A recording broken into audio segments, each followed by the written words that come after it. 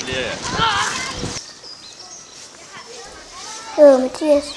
Jeg går på Bogbergskolen, og jeg har lavet en gavekrydsmaske.